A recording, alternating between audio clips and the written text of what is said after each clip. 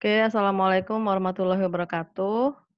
Selamat malam teman-teman. Waalaikumsalam Waalaikum warahmatullahi Oke, wabarakatuh. akhirnya kita berjumpa lagi walaupun secara virtual ya.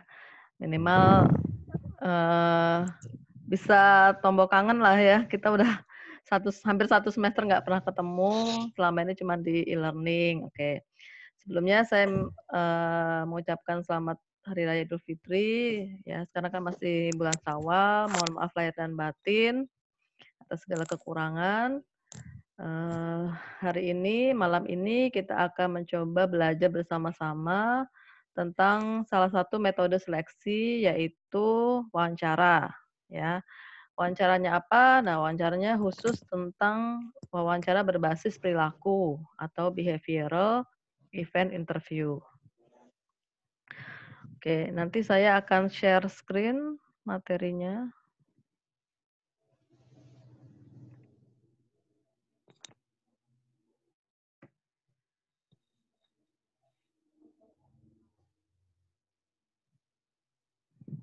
Oke, sudah kelihatan ya di layar ya? Iya. Oke. Kelihatan, Bu. Oke.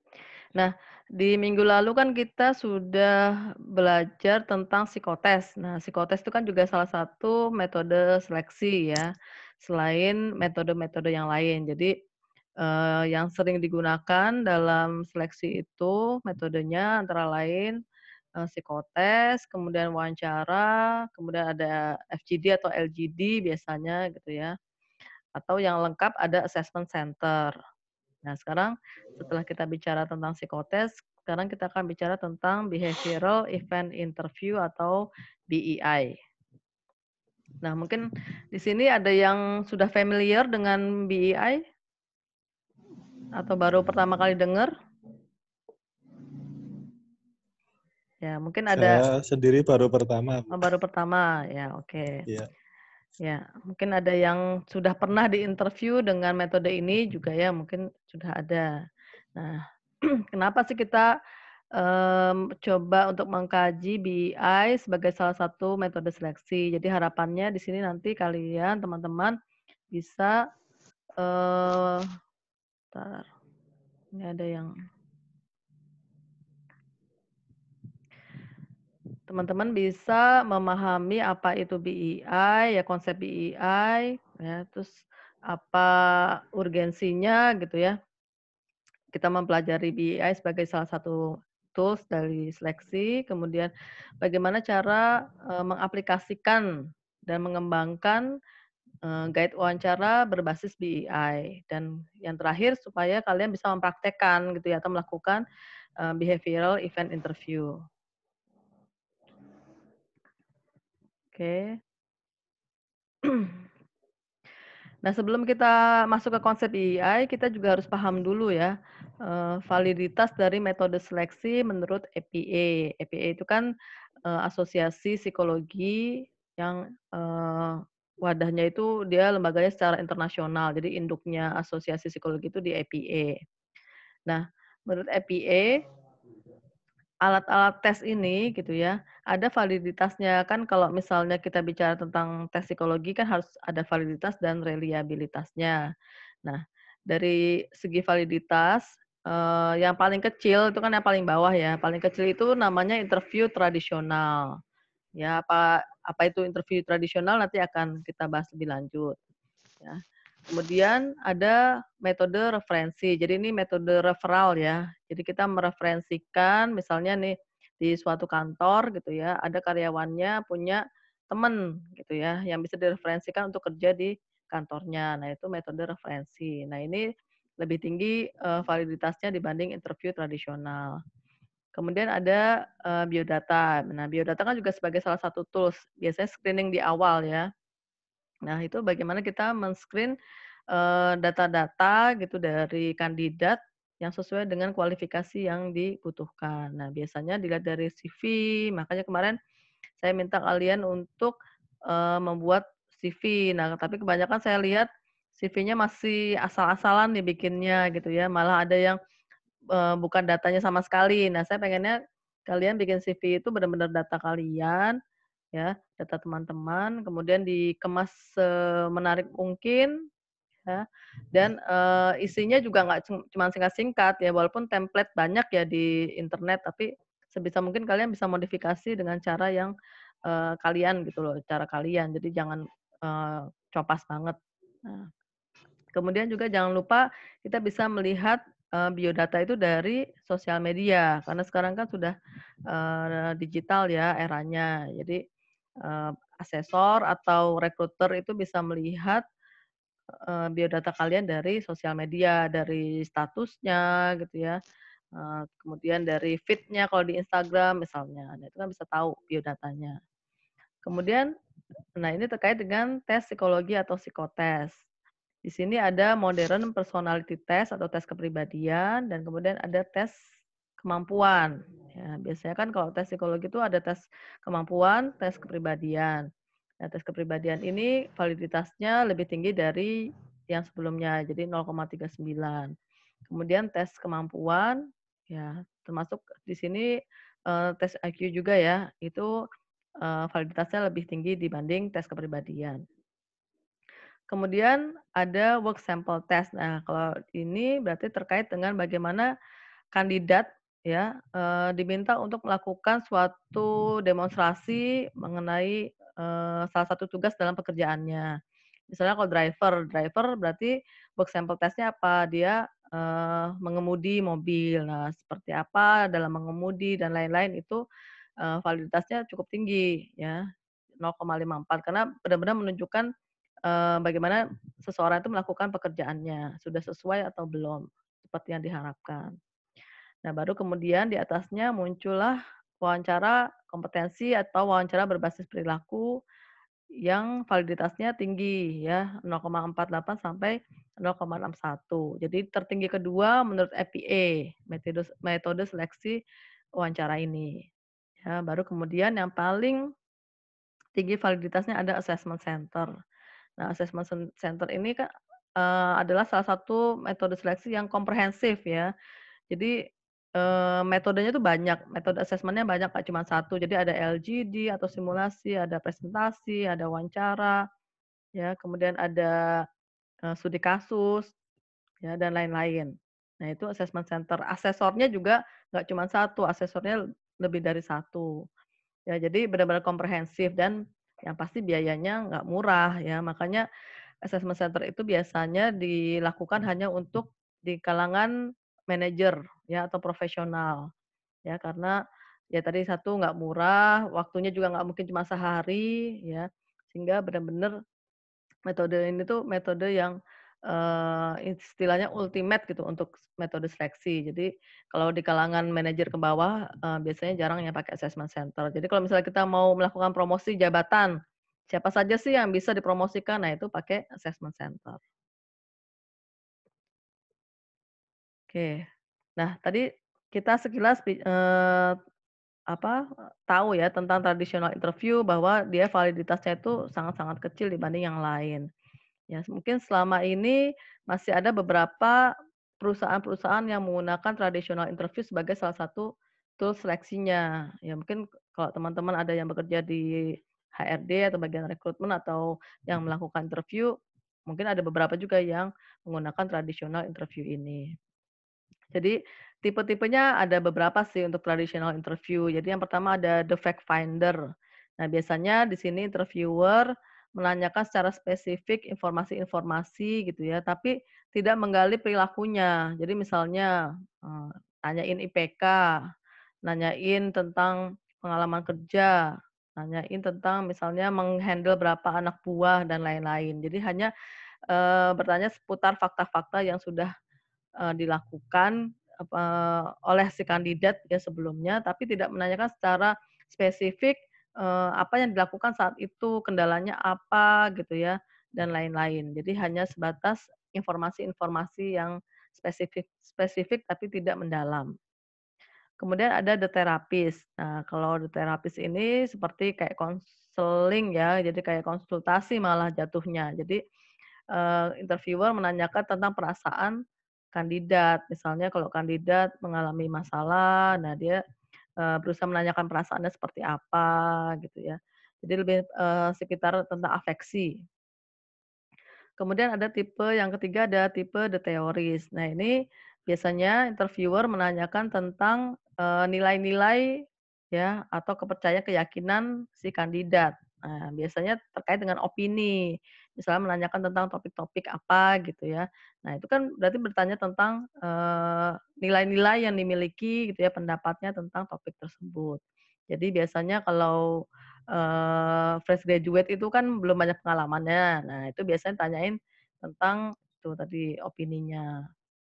Kemudian ada, eee, fortune teller. Nah, ini kayak peramal. Jadi menanyakan apa yang akan dilakukan di masa yang akan datang, gitu ya. Nah, itu tipe-tipe dari traditional interview.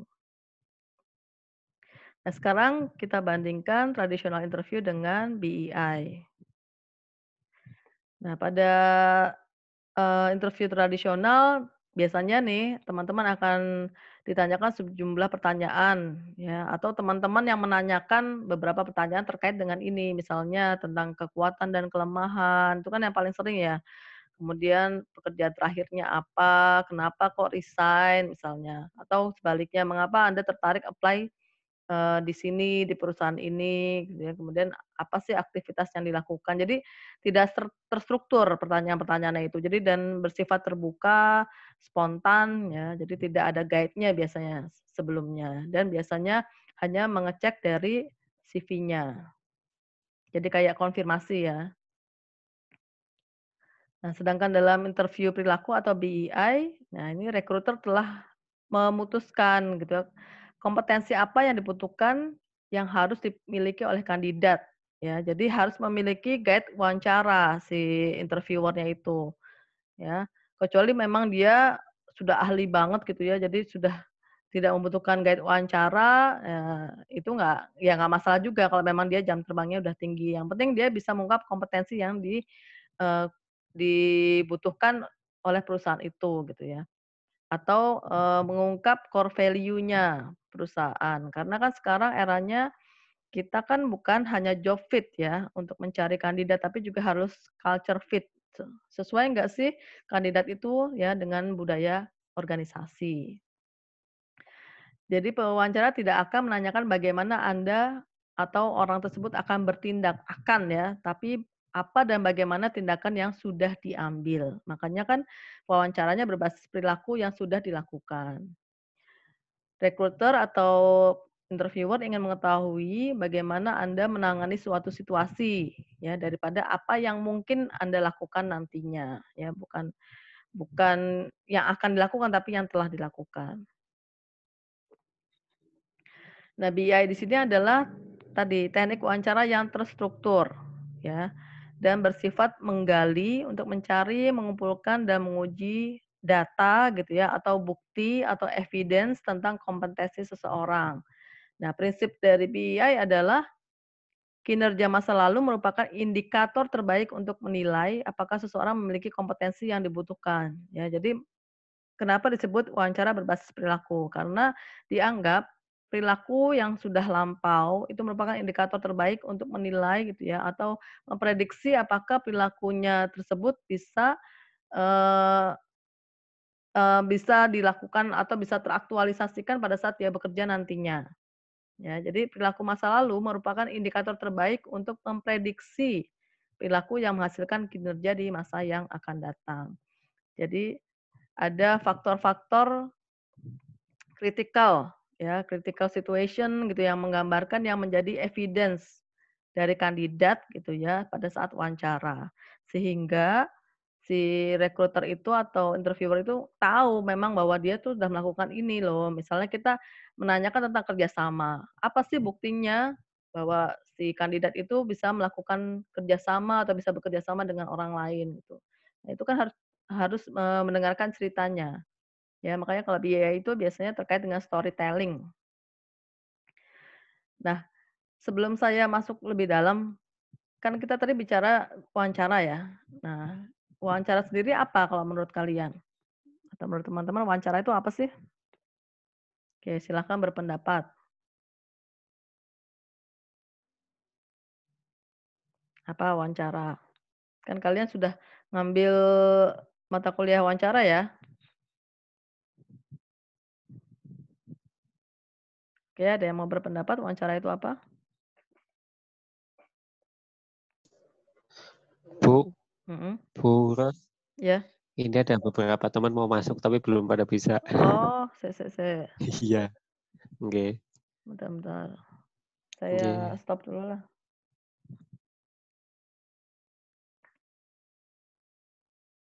Oh, iya ya, ada Oke. Ada beberapa masih tertahan. Oke, udah semua nih.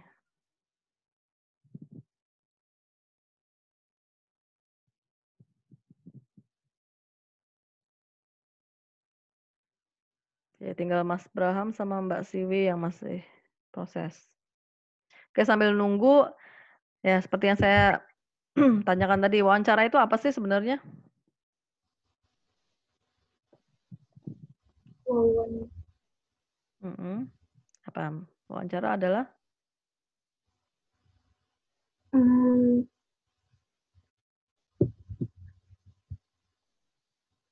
Sep Mhm. Apa Mbak Mbak Imelda yang mau ngomong ini? Eee, wawancara tuh kayak misalnya kita untuk menggali lebih dalam lagi, Mhm. mmm, karyawan yang ingin direkrut, bukan gitu, Bu? Oke, kalau secara umum, wawancara apa? Secara umum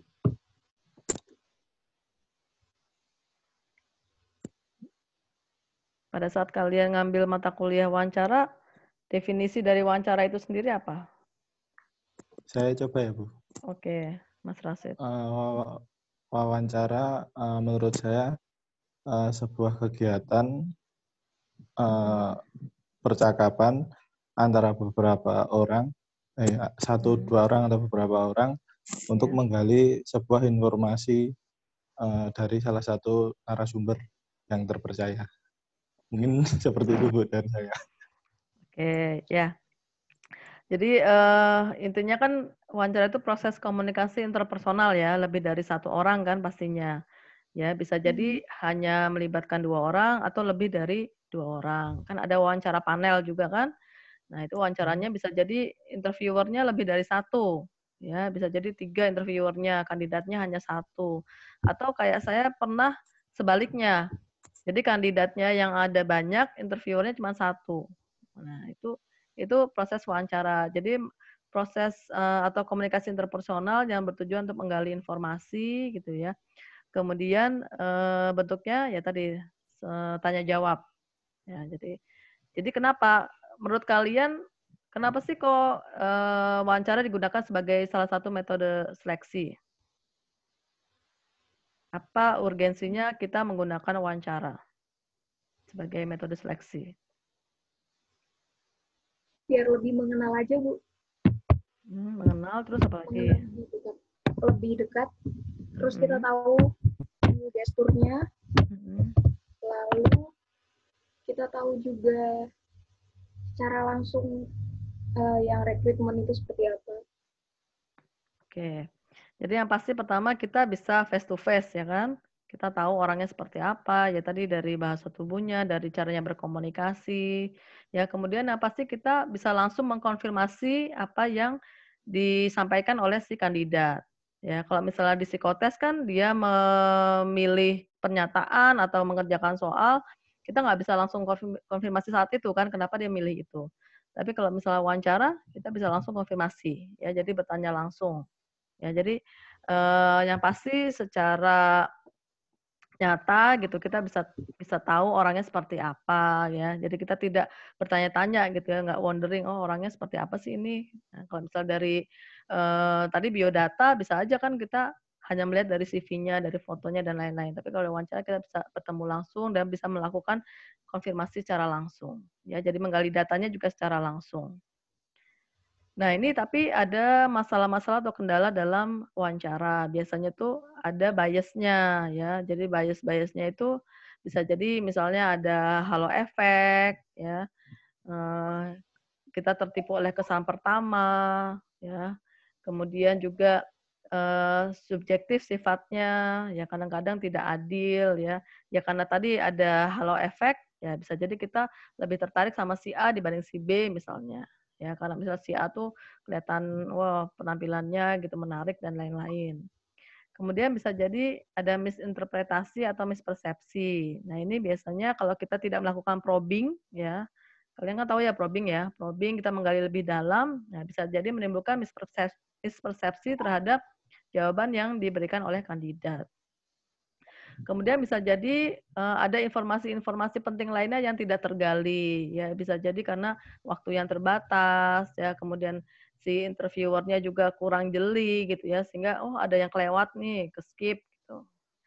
Ya kemudian uh, kurangnya data untuk uh, rekrutmen, jadi mungkin kalau misalnya kita hanya menggunakan wawancara aja, tidak ada data pendukung yang lain, nah itu bisa jadi datanya minim gitu.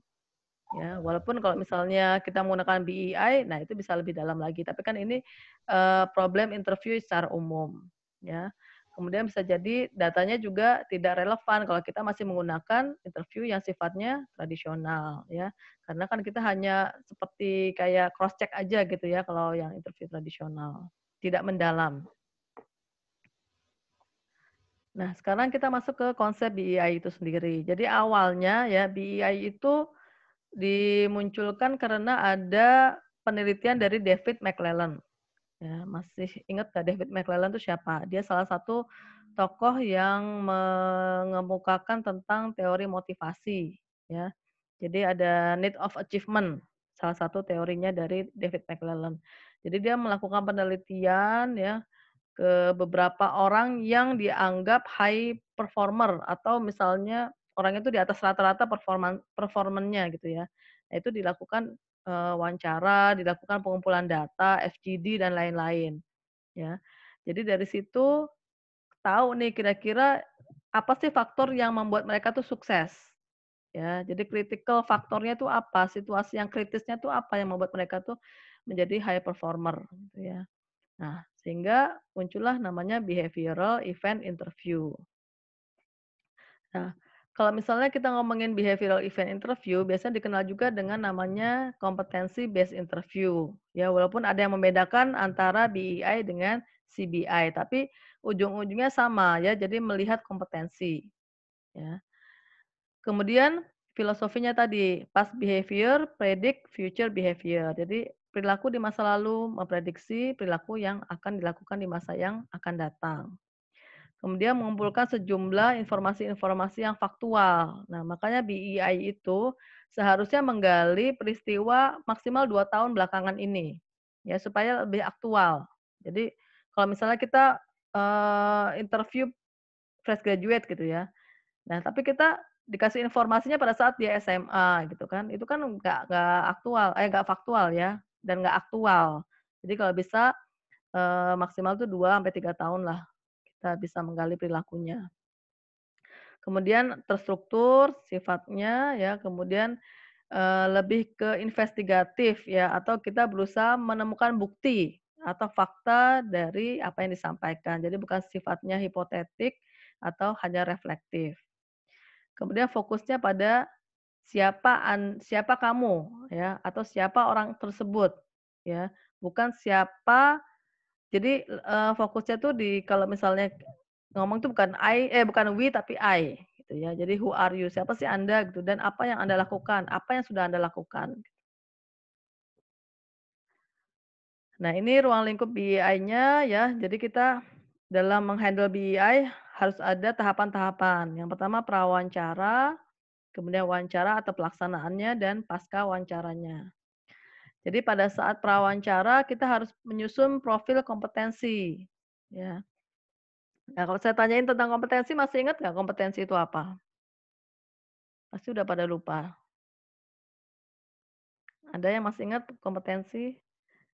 Ya, soalnya waktu ada tugas untuk menyusun tentang uh, kompetensi dan definisinya gitu ya itu kayaknya masih banyak yang belum tepat ya. Jadi kompetensi itu kan sebenarnya kalau merujuk ke Spencer and Spencer and Spencer kan uh, ada elemennya itu ada trait ya, ada motif, ada konsep, konsep diri, kemudian ada skill, kemudian ada knowledge. Ya. Jadi kompetensi itu karakteristik yang melekat pada individu ya yang bisa mem, apa ya, menggambarkan bahwa si individu tersebut bisa perform gitu ya di tempat kerjanya atau di uh, pekerjaannya. Ya, jadi kalau misalnya kayak HRD manager, kira-kira kompetensi yang dibutuhkan apa? Ya, kan kalau HRD manager kan berarti sudah levelnya manager, minimal dia sudah memiliki kompetensi leadership. Nah, atau misalnya kalau kita nanya nih kayak Mbak Komsa kan di counter ya. Nah, kalau di counter kan hampir mirip sama CS. Nah, kira-kira kompetensi seorang CS itu apa? Nah, mungkin salah satunya uh, customer service orientation, ya kompetensi yang dibutuhkan. Nah, customer service orientation itu apa definisinya? Ya, di sini misalnya uh, melakukan suatu perilaku yang bisa memuaskan kebutuhan pelanggan misalnya secara garis besar, ya. Kemudian tadi elemen kompetensinya apa aja ya. Kalau misalnya dari skillnya berarti dia harus memiliki skill apa? Skill melayani, ya kan? Kemudian dari motifnya, ya motifnya dia eh, apa? Motifnya itu ingin melayani ya. Terus konsep dirinya dia orang yang helpful, orang yang suka membantu orang lain, ya value-nya eh, atau konsep dirinya bahwa saya itu eh, ya tadi saya ingin menyenangkan orang lain gitu ya. Kemudian skill eh, apa knowledge-nya apa? Berarti saya harus tahu kebutuhan pelanggan. Nah, itu elemen-elemen dari kompetensi ya. Jadi kompetensi tadi karakteristik yang melekat pada diri seseorang yang bisa menggambarkan eh, apa? performansinya pada saat dia bekerja atau pada saat dia melakukan suatu pekerjaan, suatu kegiatan gitu ya. Nah, Biasanya kalau kita melakukan interview BEI, itu asesornya ya atau interviewernya harus menyusun dulu ya, menyusun pedoman wawancara atau guide-nya. Kan tadi sifatnya terstruktur ya. Jadi harus ada uh, guide pertanyaan-pertanyaannya apa aja. Nah, bagaimana membuat guide wawancara tersebut? Kita harus punya profil kompetensinya. Ya. Biasanya kalau perusahaan besar sudah punya namanya kamus kompetensi. Ya, jadi kamus kompetensi kan isinya nanti misalnya nih pekerjaan A itu eh, apa aja sih eh, ininya kompetensi jabatannya gitu ya. Pekerjaan B apa aja gitu ya. Kemudian core value-nya, core kompetensinya. Core kompetensi itu kan dari paling bawah OB misalnya sampai direktur itu kompetensinya harus sama. Itu namanya core kompetensi. Ya, jadi kalau nggak punya kamus kompetensi, minimal kita harus tahu job desk-nya. Ya, job desk dari pekerjaan A ya yang akan kita hire kandidatnya itu apa aja pekerjaannya. Jadi nanti kita turunkan menjadi kompetensi yang dibutuhkan. Ya, jadi kita tetap harus bikin pedoman loh, nggak bisa enggak. Karena nanti kompetensinya tuh misalnya lebih dari lima yang harus kita ungkap. Nah itu apa saja sih pertanyaannya? Nah itu harus kita buat. Ya, kemudian pada saat pelaksanaan wawancara, nah berarti melaksanakan wawancara berdasarkan guide interview, sebelumnya kita melakukan raport dulu, building raport ya. Kemudian kita cross check uh, biodatanya ya. Biasanya juga ada hasil psikotes yang bisa dipegang, misalnya kayak tes grafis dan lain-lain gitu ya. Kemudian yang penting juga kita harus bisa melakukan taking note ya atau mencatat jawaban kandidat dan mengobservasi gesturnya. Ya, ini nanti gestur itu kan jadi note tersendiri. Tapi yang paling penting pada saat si kandidat e, menjawab, kita harus bisa mencatat poin-poinnya. Ya, kalau bisa nanti kita bikin e, apa? E, formnya, bikin formnya nanti kita tinggal isi aja. Ya, oke. Nah setelah itu, setelah wawancara selesai, ya setelah kita menyusun hasil wawancaranya, ya. Kemudian kita juga melakukan namanya integrasi data ya. Dan ini eh, nanti kita harus bisa melakukan rating atau penilaian ya. Nah baru kita eh, mengambil keputusan setelah melakukan integrasi data dengan data-data yang lain misalnya ada psikotes dan lain-lain baru kita merekomendasikan kandidat ini apa mau disarankan dipertimbangkan atau tidak disarankan. Nah Tadi kan BI behavioral event interview, sedangkan perilaku itu sendiri apa sih? Nah, pasti kan kalian orang psikologi sudah familiar ya perilaku itu apa, tapi ini secara spesifik aja ya. Behavior di sini yang dimasukkan adalah uh, dikenal juga dengan karakteristik, skill, ya, value, attitude, kompetensi. Ya, makanya kan tadi BEI sama juga dengan CBI, sama-sama mengungkap kompetensi ujungnya. Nah, perilaku ini juga sering mencerminkan uh, corporate culture atau budaya organisasi uh, perusahaan itu sendiri, ya. Misalnya kayak BCA. BCA itu punya budaya organisasi namanya BCA Way. Nah, BCA Way itu isinya apa aja? Salah satunya teamwork. Nah, berarti semua kandidat BCA ya yang melamar untuk posisi apa pun itu harus memiliki kompetensi kerjasama. Ya, jadi behavior ini disebut uh, sering mencerminkan suatu corporate culture. Kemudian skillnya biasanya terdiri dari uh, hal-hal yang berkaitan dengan knowledge ya eh, atau job desk-nya seperti apa, kemudian bagaimana dia bekerja sama dengan orang lain, bagaimana dia mengumpulkan informasi, kemudian bagaimana dia beradaptasi, ya. Jadi perilakunya uh, spesifik nanti yang akan diungkap. Nah itu biasanya uh, lebih dikaitkan dengan kompetensi sih.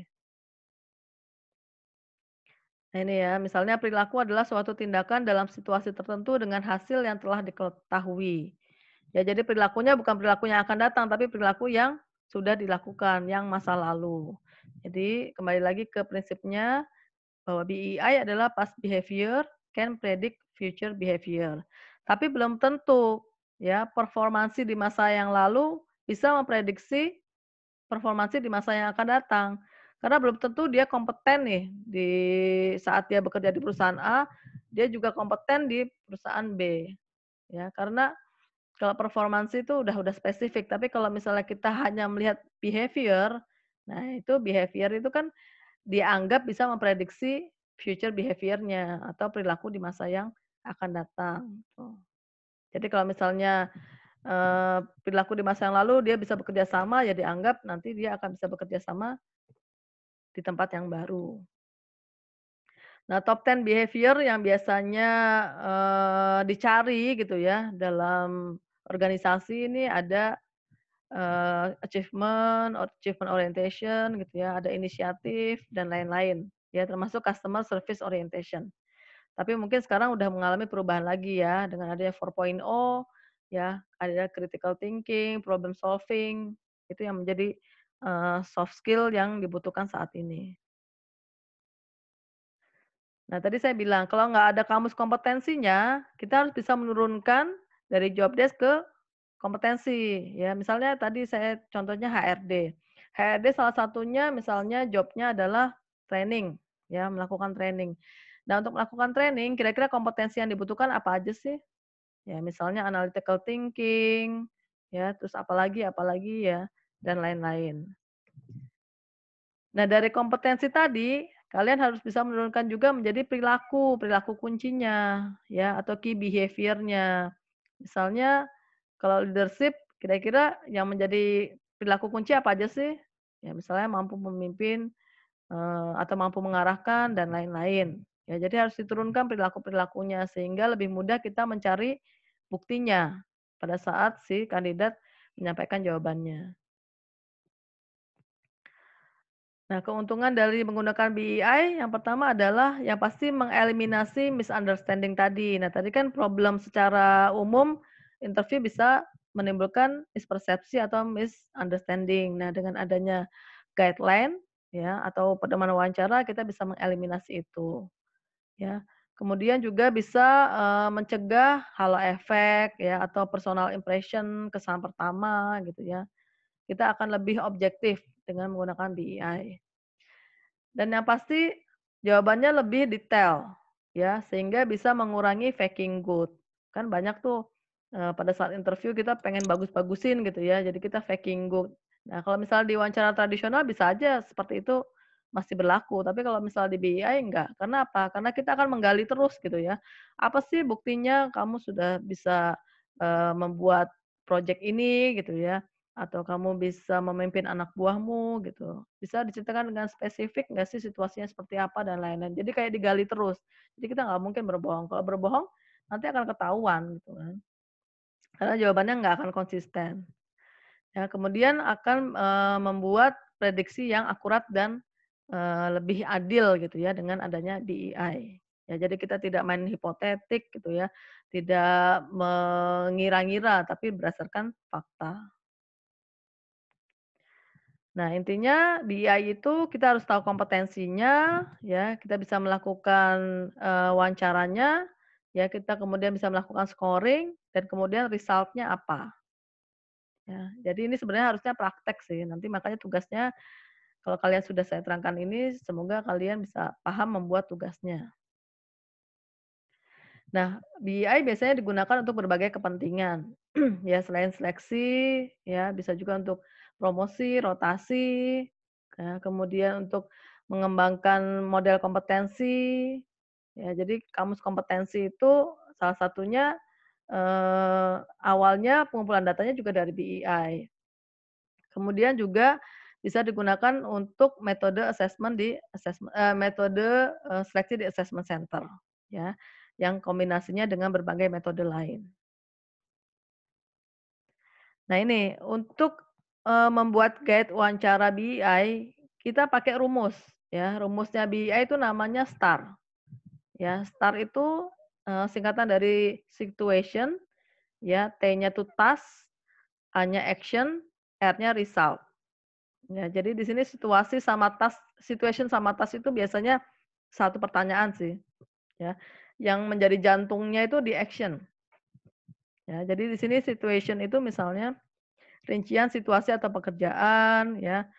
Misalnya di sini ceritakan, eee, tugas Anda sebagai, eee, HR, ya. Ceritakan suatu kejadian yang Anda alami ketika Anda menjalankan tugas sebagai apa, gitu ya. Ceritakan, eee, situasi di mana Anda menghadapi kondisi yang tidak sesuai dengan nilai-nilai Anda. Nah, itu kan situation dan task-nya, gitu ya. Nah, kemudian action-nya apa gitu ya, apa yang Anda lakukan saat itu, ya. Eee, misalnya menemui kendala gitu ya dalam bekerja. Nah, kendala yang dilaku eee, yang di kendalanya itu apa di di situation-nya gitu ya. Kemudian action-nya, apa yang Anda Anda ambil gitu ya, eee, tindakannya yang untuk menyelesaikan kendala itu. Kemudian yang penting juga hasilnya apa, ya. Jadi nanti STAR itu harus full. Jangan STAR-nya cuman separoh atau STAR-nya tuh palsu. Ya, jadi tetap kita harus bisa menggali secara full. Nah, ini misalnya contohnya staff training, ya. Staff training di sini situasinya, ya, atau tugas-tugasnya adalah bekerja mengurusi pelatihan karyawan.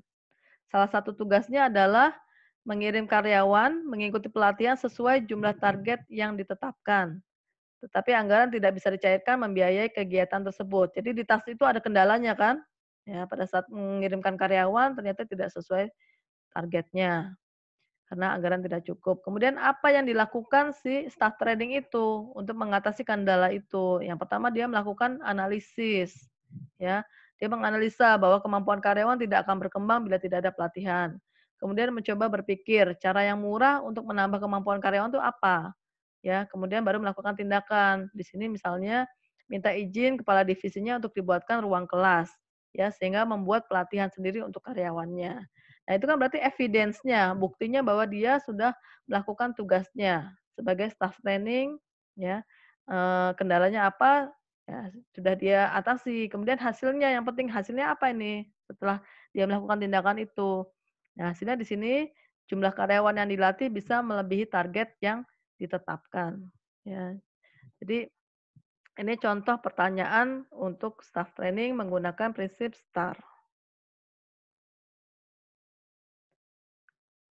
Nah, tapi kalian nggak harus berurutan sih ya, maksudnya gini, bisa aja pada saat kalian mengungkap satu kompetensi gitu ya, kompetensi A ti tiba-tiba dia mengungkapkan suatu perilaku yang juga bisa untuk kompetensi B. Nah, itu nanti kalian catat aja.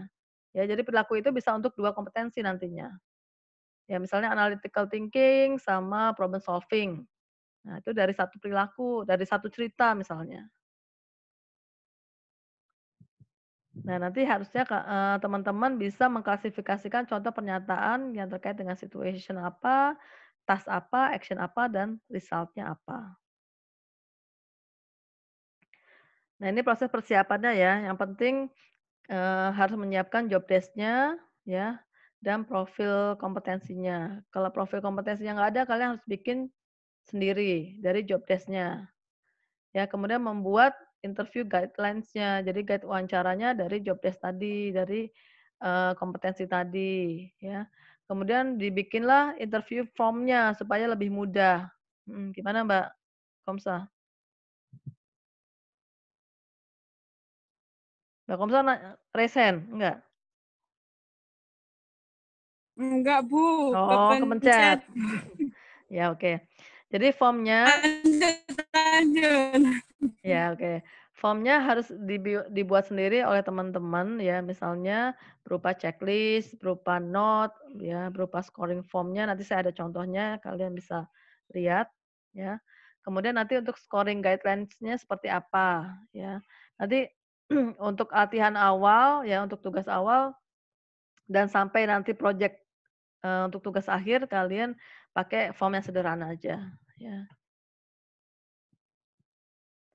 Nah, pembukaannya ini sebenarnya waktu itu kalau untuk satu kandidat ya, dengan kompetensi lebih dari 5, itu biasanya tuh, eee, paling cepat 30 menit, paling cepat ya untuk semua proses interview satu kandidat. Ya, jadi ini, eee, waktunya nggak kaku ya, terserah si pembukaannya mau seperti apa, yang penting kalian, eee, sudah bisa building rapport ya, sehingga interview juga bisa nyaman ya, tapi tetap profesional, interviewer tetap harus memperkenalkan diri, kemudian maksudnya seperti apa, itu diberikan informasi, ya. Setting, eee, tempatnya juga sebisa mungkin di-set supaya tadi prinsip EEO, Equal Employee Opportunity, ya. Jadi di seleksi itu salah satu prinsip EEO bisa diterapkan pada saat interview. Nah, biasanya tuh mejanya itu round table, jadi mejanya itu bundar. Nggak tahu kenapa, katanya kalau bundar itu biasanya lebih equal dibanding meja yang kotak, ya. Itu salah satu prinsip EEO di seleksi. Kemudian pada saat proses interview ya, nah ini kita bisa sekalian review CV-nya atau background-nya untuk pembuka awal, prolognya. Kan biasanya kata-katanya kan paling, eee, tolong ceritakan background Anda mulai dari pendidik eee, keluarga, pendidikan, dan pekerjaan, atau aktivitas yang saat ini dilakukan, ya. Baru masuk ke kompetensi menggunakan prinsip STAR tadi, ya. Kemudian kalau bawa alat perekam atau handphone, ya boleh kalian merekam ya, supaya tadi nanti kalau misalnya ada yang belum kecatat, bisa kalian lihat lagi di rekaman, ya. Eee, untuk bagusnya sih minta izin dulu ke apa, kandidatnya. Ini saya, eee, merekam gitu ya, eee, mohon izin dulu sebelumnya gitu ya, dan sambil mencatat has eee, hasil jawabannya. Ya hasil jawabannya nggak usah verbatim semua dicatat gitu ya, tapi poin-poinnya aja. Nah, setelah proses, wawancara selesai, biasanya ada closing-nya. Nah, closing-nya biasanya, eee eee, kita menanyakan secara informal gitu ya, pertanyaan-pertanyaan yang sifatnya untuk rileks aja gitu ya, untuk menutup. Kemudian kita sambil mereview catatan STAR yang tadi sebelumnya ada nggak yang perlu dikonfirmasikan lagi sebelum, eee, interview selesai gitu ya. Kemudian kalau interviewee ada pertanyaan silahkan untuk mengajukan pertanyaan ya. Kemudian menggambarkan proses seleksi selanjutnya seperti apa kalau kita tahu gitu ya. Dan yang terakhir kita mengucapkan salam. Ya jadi kurang lebih ya paling cepat 30 menit lah untuk proses interview menggunakan BI. Nah, karena dibatasi waktunya, karena misalnya kayak kemarin saya ya, terakhir itu saya wawancara di UGM itu untuk 6 kandidat, eee, waktunya dari jam 1, jam 1 siang. Nah, itu kalau bisa maksimal 30 menit. Nah, karena waktunya itu dibatasi 30 menit, jadi kadang-kadang, eee, ada beberapa yang kita skip gitu informasinya. Ya, jadi memang taking notes itu sangat penting, guide wawancara itu sangat penting supaya tidak ada yang hilang datanya. Ya, karena kita tadi harus mengejar waktu juga. Nah ini, eee, untuk guideline-nya ya, jadi intinya, eee, definisi kompetensi yang akan diungkap itu apa aja ya, kemudian nanti di-breakdown menjadi key behavior atau key action ya, kemudian nanti kita bisa membreakdown lagi menjadi pertanyaan yang menggunakan STAR. Nah, ini startnya ya, situation atau task. Jadi merupakan latar belakang atau alasan mengapa kandidat melakukan suatu tindakan. Jadi kayak kalau kita bercerita itu kayak prolognya lah ya, storytelling itu kita prolognya dulu dari situation dan tasknya. Kemudian actionnya, nah ini yang tadi saya bilang menjadi jantungnya BEI ya. Uh, yang penting tuh di actionnya, actionnya itu harus nyata. Kita bisa melihat evidence-nya atau buktinya di situ. Action adalah apa yang telah dilakukan atau diucapkan kandidat sebagai tanggapan atas tadi situation dan tasknya dan bagaimana ia melakukan atau mengucapkannya. Dan kemudian resultnya itu dampak dari action yang dilakukan. Ya, result tetap harus kita tanyakan karena kalau misalnya actionnya itu tidak berdampak atau berkontribusi terhadap timnya, terhadap organisasi ya percuma. Ya, jadi nilainya akan kecil gitu. Nah, jenis-jenis star tadi yang saya bilang startnya itu harus lengkap, harus full, ya S T A R. Ya, jangan cuman sampai A aja, situation, task, action. Resultnya kita nggak tanya, itu berarti nggak lengkap. Atau yang jenisnya palsu, ya jenisnya palsu itu jadi pernyataannya tuh kabur. Kan seringnya kita wawancara itu dia ngomong gitu ya, ngomongnya gerambiang nggak jelas gitu ya, jadi pernyataannya kabur. Kemudian e, merupakan opini, jadi bukan uh, merupakan sesuatu yang sudah dia lakukan, ya atau sifatnya hipotetik. Di sini misal contoh-contoh pertanyaan dengan STAR adalah apa masalah yang pernah dihadapi oleh kandidat? Apa perannya dalam masalah tersebut sebagai pimpinan kah, sebagai bawahan, atau sebagai rekan kerja? Apa perilaku yang ditampilkan dalam situasi tersebut dan apa dampaknya dari perilaku yang dilakukan itu? Kalau yang star palsu tadi, kalau pernyataan kabur tuh misalnya kayak gini. Saya selalu meluangkan waktu agar mengetahui apa yang diinginkan pelanggan dan saya telah berhasil membuat banyak pelanggan gembira dengan cara itu. Selalu itu kabur ya. Jadi kayaknya nggak mungkin kan so, semua tuh setiap waktu dia selalu meluangkan waktu. Ya, jadi ini harus di probing lagi, harus digali lagi. Kemudian ada yang berupa pendapat atau opini.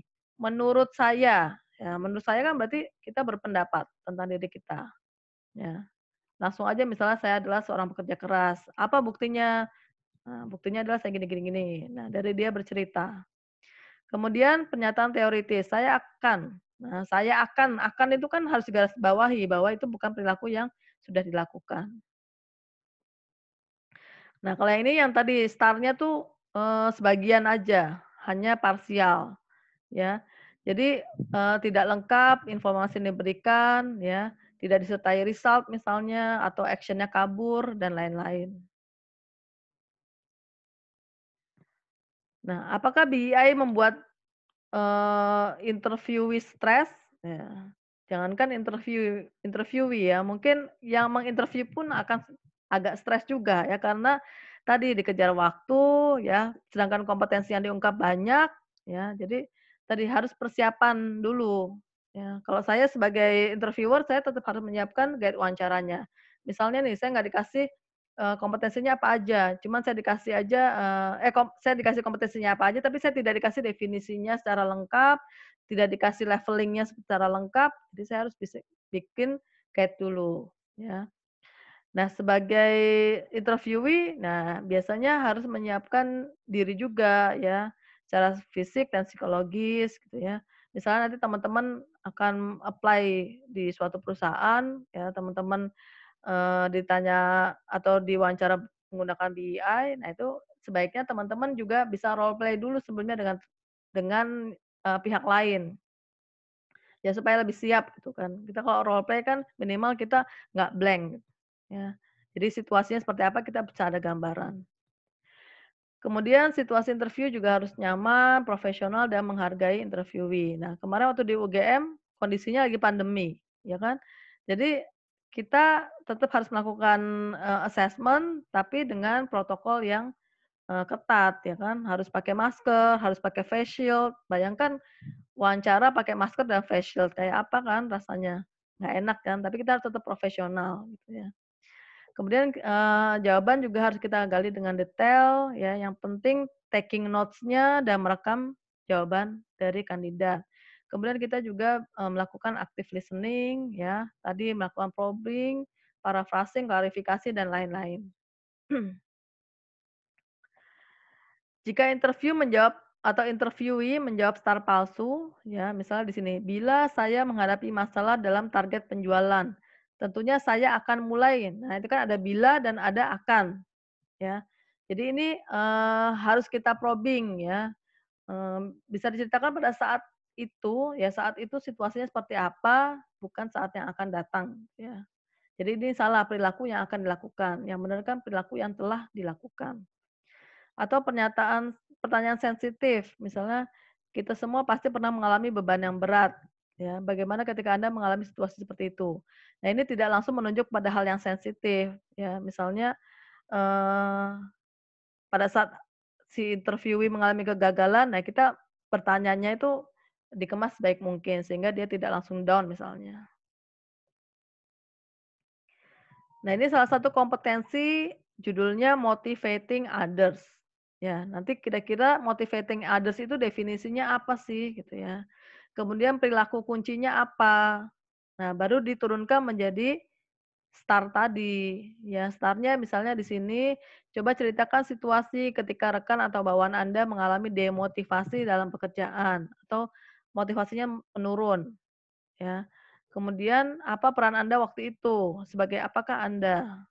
Ya. Apa yang Anda lakukan? kemudian bagaimana hasilnya. Nah, ini contoh guide wawancara menggunakan STAR. Nah, untuk scoring BEI-nya, nanti saya kasih contohnya yang mudah saja.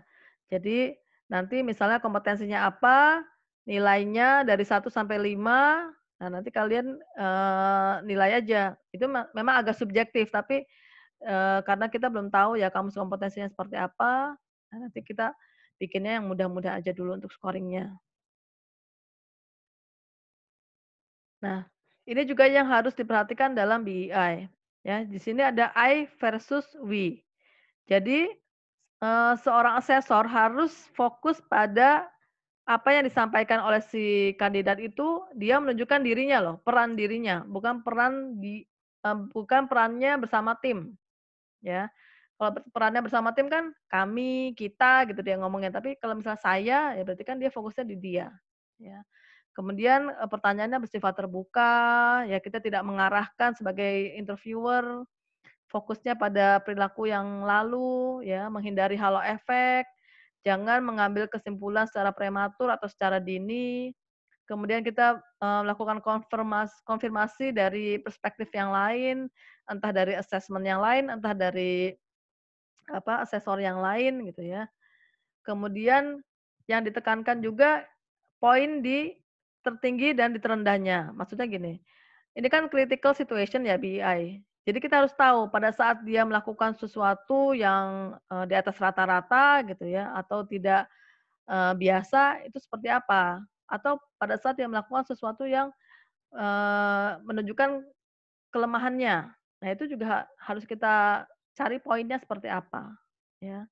Kemudian yang penting taking note dan cek CV-nya. Nah, sebenarnya BEI itu prinsipnya ada dua, ada star, ada fact. Tapi yang paling sering yang dipakai adalah yang star.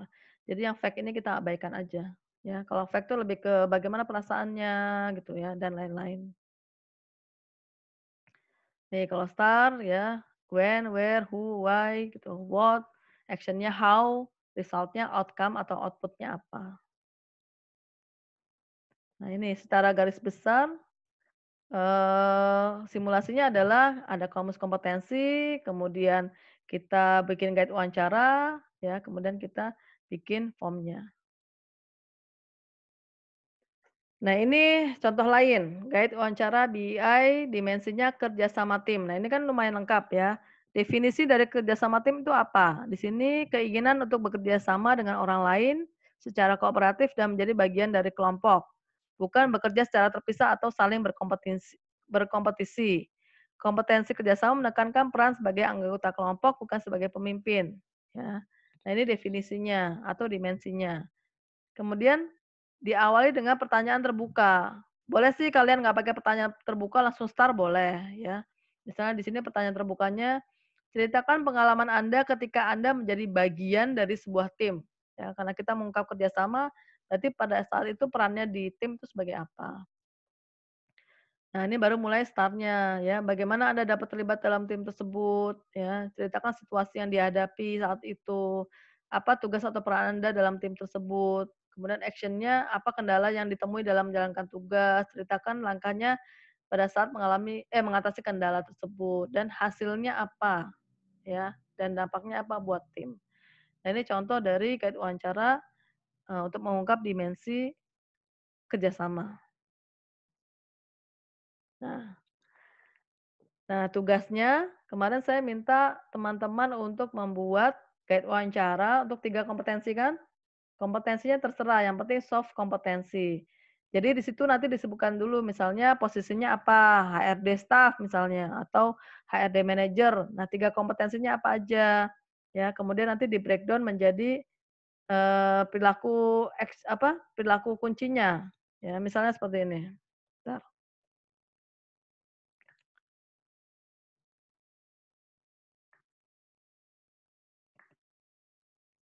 Nah, kalau yang ini kan yang tadi ya. Uh, ini kalian bisa bikin di Excel atau di Word gitu ya. Nanti untuk tugasnya, jadi sesuai ini aja, dimensi kompetensinya apa. Misalnya leadership. Leadership ini harus disebutkan dulu definisinya apa. Ya, kemudian kalau nggak ada pertanyaan terbuka nggak apa-apa, langsung ke metode startnya, situationnya apa, tasknya apa, actionnya apa, resultnya apa.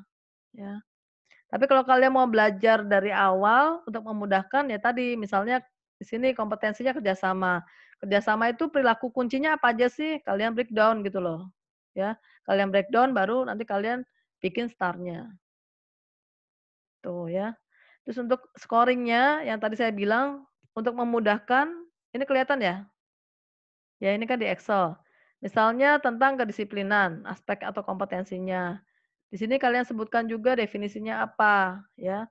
Kemudian ini bukti perilakunya apa, yang penting. Jadi pada saat interview, apa yang menunjukkan dia memiliki kedisiplinan, misalnya nilainya tiga nih. Di sini kan tiga cukup, ya. Atau yang ditulis yang ini aja.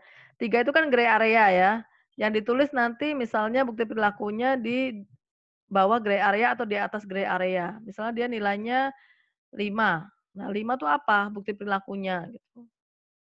Ya, jadi nanti pada saat kalian um, mengerjakan tugas untuk proyek rekrutmen seleksi, kalian salah satunya bikin ini. Ya.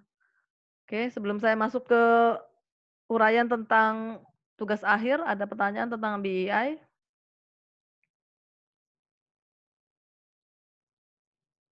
Silakan.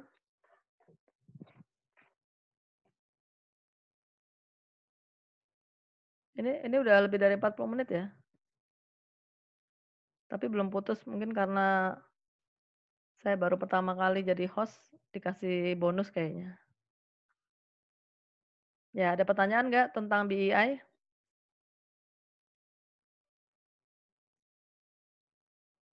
Mumpung kita bisa Zoom, ya ditanyakan aja kalau misalnya masih belum paham. Jadi intinya BEI tadi ya bagaimana teman-teman sebagai interviewer gitu ya, bisa menggali bukti dari perilaku yang sudah dilakukan oleh si kandidat.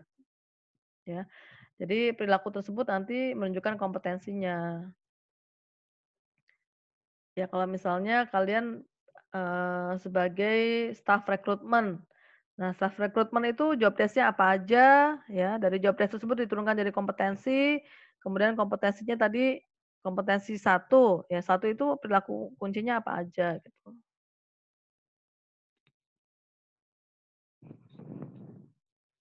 Gimana? Nggak ada pertanyaan? Masa nggak ada pertanyaan sih? Saya belum cek e-learning ya, yang forum pertanyaannya apa aja. Jadi kalau misalnya ada yang mau ditanyakan di sini aja nggak apa-apa. Uh, saya mau tanya Bu. Ya. Berarti UAS kita nanti tugasnya ini. Ya, ini pertanyaan langsung masuk ke UAS nih berarti. Bentar, saya saya share screen ya. To the point. Oke. Eh, ini kan kayak berarti lebih ke apa perilaku interview eh, interviewnya gitu kayak wawancaranya lebih ke lebih ke kita melihat perilaku kandidat calon kandidatnya kan ya bu Iya. lebih kayak lebih realnya kan Mm-mm. bisa Jadi ketahuan makanya- ketahuan Eh, eh, jadi misalnya nih. Eh, misalnya teman-teman nantinya ya eh, sebagai staf rekrutmen melakukan wawancara gitu ya. Terus misalnya yang diwawancara itu masih fresh graduate. Ya itu nggak apa-apa pakai BEI. Nanti yang diungkap atau yang digali adalah perilakunya pada saat dia kuliah. Ya. Misalnya pada saat dia mengikuti organisasi, maka makanya penting gitu ya eh, seorang mahasiswa itu nggak cuma kuliah, tapi dia mengikuti organisasi atau punya usaha gitu ya atau mengikuti suatu komunitas dan lain-lain. Itu kan bisa diceritakan eh, apa saja di situ kerjasamanya, leadership-nya dan lain-lain. gitu. Jadi tadi kuncinya sebenarnya kalau bisa maksimal dua tahun belakangan lah yang kita gali. Jadi jangan kelamaan. Jadi misalnya lima tahun yang lalu gitu jangan, ya nggak aktual dan tidak faktual. Oke, ada lagi yang lain? Nah ini orangnya ada berapa ya semuanya ya? 14 ya? Atau berapa? Mau berkelompok, satu kelompok dua orang atau sendiri-sendiri aja untuk project Excel-nya atau tugas akhirnya? tugas uasnya ini bu Mm-mm. gimana guys Kalau berkelompok ya maksimal dua orang, tapi kalau misalnya mau sendiri ya terserah, nggak apa-apa sendiri aja. Tapi nanti di pertemuan terakhir, salah satu tugas kalian adalah mempresentasikan. Jadi nanti kita zoom lagi gitu ya. Zoomnya bisa mungkin lebih dari sekali kalau misalnya harus presentasi ya. Nanti saya batasin aja 10 menit atau berapa menit lah untuk presentasi. Jadi sebelum dikumpulkan pada saat nanti UAS, saya harus tahu eh, hasil proyek kalian ya dengan mempresentasikan hasilnya.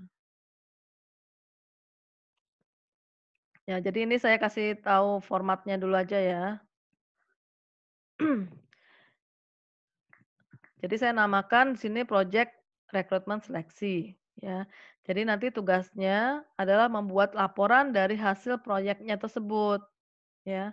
Kalau misalnya berkelompok ya berarti dua orang dua orang dalam satu kelompok. Yang pertama di format laporannya ya kalian harus membuat profil organisasinya. Ya, ini boleh organisasinya boleh fiktif, boleh nyata loh. Ya. Yang penting kalian dapat subjek satu orang untuk diinterview. Ya, jadi nanti kalian cari satu orang untuk diinterview tapi orang tersebut karakteristiknya harus sama dengan eh, posisi yang dicari ya. Misalnya mencari CS. Ya, mencari CS tapi kalian eh, cari subjeknya yang kira-kira bisa memenuhi eh, apa kompetensi sebagai CS gitu walaupun itu teman kalian. Paham ya? Ya, atau mencari driver ya kira-kira subjeknya, karakteristiknya hampir sama dengan yang dicari gitu. Jadi supaya supaya nanti pada saat interview bisa terungkap kompetensinya. ya, profil organisasi di sini sejarah organisasi, visi misinya, jumlah karyawannya dan lain-lain. Intinya tentang profil organisasi. Kalau ada struktur organisasinya lebih baik lagi. Ya, walaupun fiktif tetap aja dibuat. Ya, kalian bisa browsing nanti diganti namanya siapa gitu kan. Eh, apa gitu. Kemudian yang kedua membuat manpower planning-nya. Ya. Kemarin kan saya sudah kasih contoh bagaimana membuat staffing table. Ya, itu cari di slide saya. Misalnya ini ini supaya terarah aja ya flow-nya itu loh dari awal sampai akhir. Jadi saya tetap meminta kalian untuk membuat manpower planning-nya.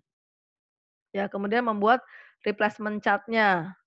Ya, dari hasil staffing table tadi mana kira-kira yang mau dilakukan eh, rekrutmen ya. Jadi ditulis nanti posisi yang akan dilakukan rekrutmen apa. Kemudian job desk dan job spec untuk posisi tersebut harus diuraikan. Ya, tugas-tugasnya apa aja, ya, kemudian syarat-syaratnya apa aja, kompetensinya apa aja gitu. Kemudian kalian mau pakai sumber rekrutmennya pakai apa? Ya, internal kah atau eksternal? Masih ingat nggak sih? Rekrutmen kan sumbernya ada dua ya, internal dan eksternal. Kalau internal kan berarti di dalam lingkup perusahaan itu sendiri. Ya, berarti melalui rotasi, promosi, dan lain-lain. Tapi kalau eksternal berarti melalui metode-metode eh, rekrutmen yang eksternal dari eh, media sosial, dari referensi, dan lain-lain. Oke, kemudian eh, tadi metode rekrutmennya pakai apa? Misalnya kalau misalnya tadi sumber rekrutmennya dari eksternal, ya berarti kan metodenya kalau misalnya kalian menggunakan sosial media, ya apa sosial medianya ya. Ini semua disebutkan alasan-alasannya ya, membuat kalau sumber rekrutmennya internal alasannya apa? Eksternal alasannya apa? Terus metodenya yang dipilih ini alasannya apa? Kemudian kalian bikin iklan lowongan kerjanya ya semenarik dan sekreatif mungkin. Ya, banyak contohnya terserah kalian mau modifikasi seperti apa. Kemudian metode metode seleksinya. Nah, karena ini kan kita nggak mungkin pakai psikotes ya, jadi kita pakai behavioral event interview aja. Ya, jadi wawancaranya menggunakan BEI. Eh sorry, seleksinya menggunakan BEI. Dan mungkin tambahannya pakai biodata. Baru kemudian kalian membuat guide wawancaranya berdasarkan STAR tadi. Ya, dikombinasikan dengan wawancara tradisional misalnya untuk prolognya tadi coba ceritakan tentang diri Anda dan lain-lain. Kemudian subjek yang akan diwawancara disebutkan identitasnya, misalnya inisialnya ya nggak perlu nama nama asli ya. Inisialnya siapa, usianya, pendidikan. Jadi identitasnya tuh jelas gitu. Nah, setelah itu kalian melakukan PEI tadi ya pakai wawancara kerja berdasarkan guide yang sudah dibuat. Ya, kemudian form penilaiannya ya pakai yang ini tadi. Ya, jadi nanti kan apa aja nih kompetensinya untuk seorang eh, CS misalnya. Misalnya ada lima kompetensinya. Nah, kalian harus bikin ini lima. Ya, kedisiplinan misalnya terus apa melayani CSO, kerjasama dan lain-lain. Ya, nanti kalian dari hasil interview kalian nilai dia masuknya ke kurang sekali kah, kurang atau cukup gitu ya. Nanti dikasih checklist atau tanda silang. Kemudian kalian tuliskan bukti perilakunya. Kenapa kok kalian nilainya 4 misalnya? Bukti perilakunya apa dari hasil jawabannya gitu. Ya. Terus setelah itu membuat laporan hasil wawancaranya. Jadi hasil wawancaranya itu eh, dibuat suatu apa ya? Kalian pernah bikin ini ya, verbatim kan? Dari hasil wawancara nanti saya kasih contohnya juga verbatim. Kan wawancaranya maksimal misalnya 30 menit. Nah, kalian kan rekam, ya. Terus kalian bikin verbatimnya, transkripnya maksudnya. Ya, kalian bikin transkripnya nanti kalian coding. Ya, dia masuk ke aspek kerjasama kah, masuk ke mana nanti saya kasih contohnya. Ya, itu sebagai lampiran nantinya. Ya, baru kemudian dia keputusan hasil seleksinya apa. Nah, karena ini kan kita sifatnya banyak virtualnya, nanti saya kasih contoh satu kelompok yang eh, sudah jadi mahasiswa angkatan tahun lalu gitu ya. Eh, jadi kalian ada gambarannya bagaimana membuat laporannya. Ya. Oke, nah ini nanti yang harus dilampirkan guide wawancaranya, verbatimnya atau transkrip wawancaranya, form penilaian wawancaranya yang Excel tadi ini, yang ini, ya. Kemudian rancangan iklan lowongan kerjanya, ya. Jadi iklan lowongan kerjanya dijadikan satu aja di dalam laporannya itu. Kemudian laporan diketik di kertas HVS 70 gram ukuran A4, ya marginnya default, spasinya satu setengah, fontnya Arial 11, poinnya dijilid rapi pakai eh sorry sekarang kita pakainya e-learning ya. Jadi ya udah uh, di, di submit aja ya di e-learningnya. Ya, kemudian nanti uh, disubmitnya pada saat uasnya. Nah, tapi di pertemuan terakhir kita ketemu dengan presentasi. Ya, jadi saya nanti bisa ngasih tambahan di situ gitu loh. Maksudnya saya bisa ngasih feedback.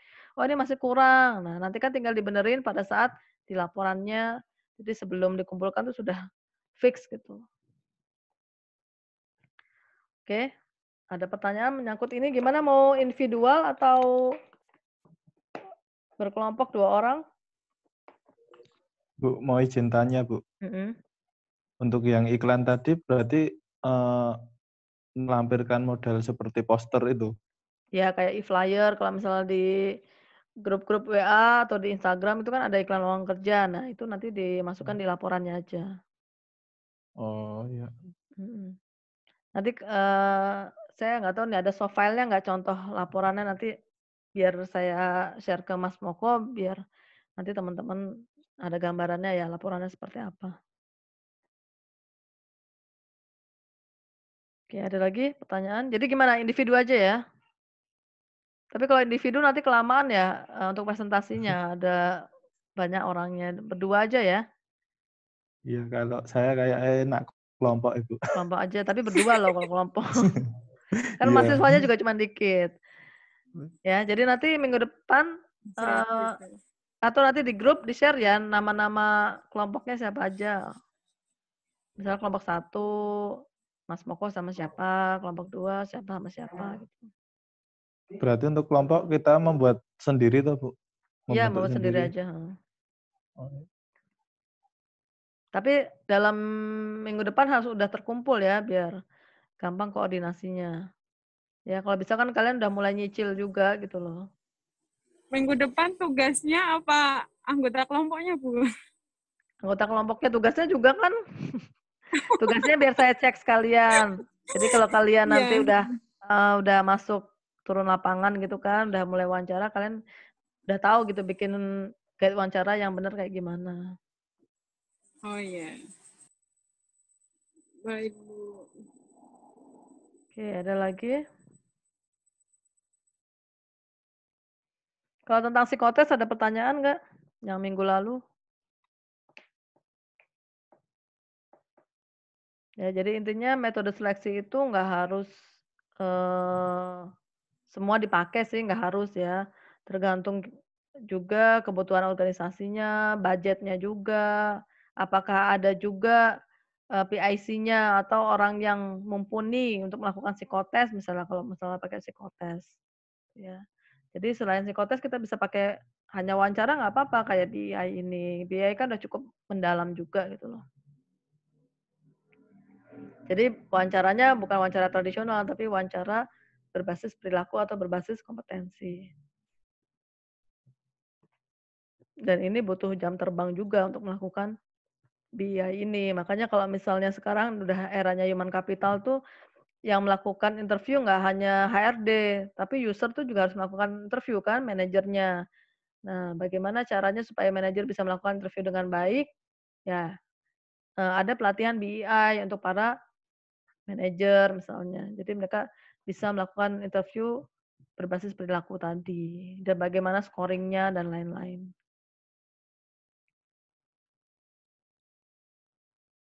Oke, ada lagi? Ini tinggal berapa orang ya? Masih ada semua tuh? 11, Pak. Eh, 10 orang ya? Jadi nanti eh, subjeknya terserah ya, boleh yang kalian sudah kenal nggak apa-apa. Yang penting tadi kua- apa karakteristiknya sesuai kualifikasi, mirip-mirip sama kualifikasi yang dicari. Ya, misalnya kalian pakai perusahaan fiktif ya tentang coffee shop misalnya, ya. Terus cari tentang eh cari bartender misalnya. Ya udah kalian cari yang eh, entah pernah bekerja di situ ya sebagai bartender atau eh, ya pokoknya kalian cari yang kualifikasinya itu mirip-mirip mendekati lah. Ya, sebisa mungkin kalau misalnya minimal sudah punya pengalaman. Jadi makanya tergantung iklan lowongan kerja kalian juga. Kalau iklan lowongannya misalnya membutuhkan pengalaman setahun ya carinya yang sudah punya pengalaman setahun misalnya. Atau fresh graduate welcome, nah itu bisa dari teman-teman kalian yang sudah lulus.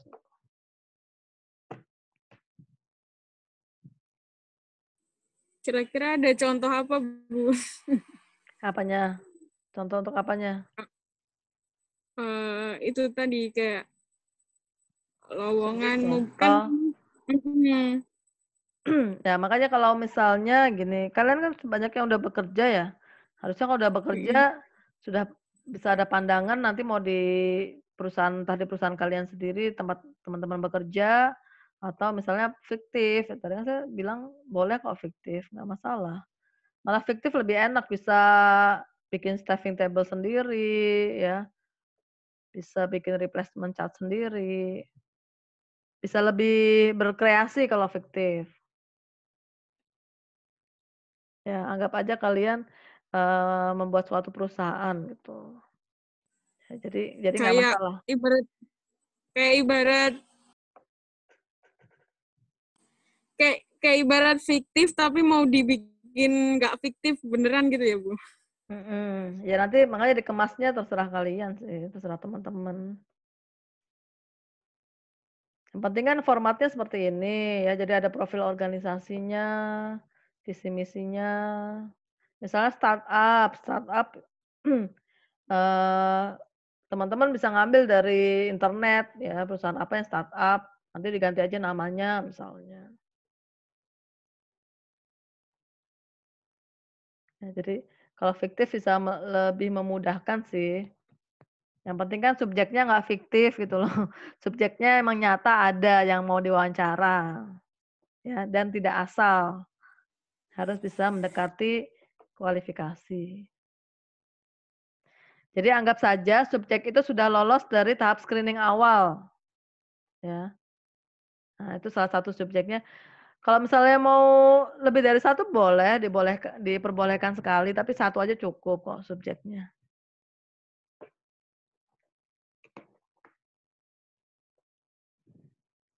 Oke. Ada lagi pertanyaan? Nanti kalau misalnya ada yang masih belum, eee, dipahami, eee, bisa ditanyain di WA ya, di WA grup ya. Dilanjutkan di WA grup nggak nggak apa-apa. Jadi kita kan ada per berapa pertemuan lagi ya? Sekarang kan pertemuan ke-11, berarti 4 pertemuan lagi ya? 12, 13, 14, 15. Iya, 4 pertemuan lagi. Nah, waktu, eee, sebelum pandemi ya, saya kan cukup banyak cukup ada beberapa praktek di kelas, ya termasuk BI ini tuh saya ada praktek di kelasnya sebenarnya, ya. Jadi, eee, kalian bisa praktek gitu loh bagaimana melakukan BI. Nah, kalau di e-learning kayak gini, eee, gimana? Kalian mau coba praktek sendiri atau nanti minggu depan kita Zoom lagi, nanti ada volunteer siapa yang mau melakukan praktek gitu, nanti saya koreksi atau gimana? Boleh, Bu. Nanti sekalian kalau misalnya kalau misalnya kelompok, nanti kan Hmm. sekalian nyetorin nama kelompok. Mhm. Ya, jadi nanti, eee, volunteer-nya 2 orang aja, yang satu jadi interviewer, satu jadi interviewee gitu. Ya. Iya. Heeh. Ya udah nggak apa, berarti minggu depan tetap lanjutan dari BI tapi prakteknya, terus minggu depannya lagi saya bahas tentang LGD. Nah, saya tuh kalau LGD juga ada prakteknya sebenarnya. Tapi nanti saya kasih sekilas aja tentang LGD, kemudian, eee, studi kasusnya seperti apa gitu ya. Terus minggu depan lagi harusnya sudah mulai terjun, sudah mulai, eee, menggarap proyeknya. Ya, tapi kalau misalnya kalian mau menggarapnya mulai dari sekarang, mulai nyicil-nyicil nggak apa-apa. Yang penting di pertemuan terakhir itu presentasi ya. Untuk Nah. untuk presentasi nanti Zoom gini, Bu? Mhm, Zoom aja. Mungkin Zoom-nya lebih dari sekali ya, 2 kali mungkin. Kan, eee, kalau misalnya satu kelompok 2 orang, berarti 5 kelompok kan? Ya kalau misalnya bisa sekali Zoom nggak apa-apa, nanti tinggal dilanjutkan kalau setelah 40 menit. Oke. Oke, sudah sudah cukup paham apa yang dijelaskan dan tentang tugas akhirnya. Ya, jadi tugas akhirnya nanti, eee, istilahnya take home ya berarti ya. Nanti saya kasih contohnya biar mempermudah teman-teman untuk bikin laporannya, biar bisa mulai nyicil juga dari sekarang. Tapi jangan dibikin plek ya, nanti kalian tetap harus bisa berkreasi sendiri. Minimal formatnya kalian, eee, bisa mengikuti formatnya, terus step-stepnya apa aja. Oke, kalau nggak ada pertanyaan lagi, saya tutup. Ya udah mau jam 9 ya. Ya sudah hampir 2 jam. Nanti, eee, kita lanjut lagi di WA Group ya, atau saya, eee, juga nanti jawab di forum pertanyaan-pertanyaan teman-teman. Nanti kalau ada apa-apa silahkan dikomunikasikan di grup saja ya. Oke, nggak ada lagi ya pertanyaan? Oke. Terima kasih, saya tutup, eee, pertemuan kita kali ini. Nanti kita koordinasi lagi kalau, eee, ada pertemuan lanjutan untuk Zoom ya, untuk prakteknya PEI ya. Oke, sementara kalian nanti bisa koordinasi dengan teman-teman untuk pembuatan kelompok, nanti minggu depan sudah setor ke saya ya. Kalau bisa setor sekalian organisasinya apa gitu ya, misalnya bisnisnya di bidang apa gitu loh. Ya, jadi nanti saya ada kasih masukan juga kalau misalnya, "Oh ini kayaknya kurang cocok," gitu misalnya. Ya. Oke, terima kasih atas perhatian, partisipasi teman-teman. Semoga yang saya sampaikan ada yang, eee, menjadi insight gitu ya tentang materi kali ini. Kalau ada yang mau ditanyakan silahkan ditanyakan lebih lanjut ke grup ya. Oke, eee, terima kasih, selamat malam, saya tutup ya. Assalamualaikum Iya, warahmatullahi wabarakatuh. Waalaikumsalam Waalaikumsalam warahmatullahi wabarakatuh. Terima kasih banyak. Sama-sama.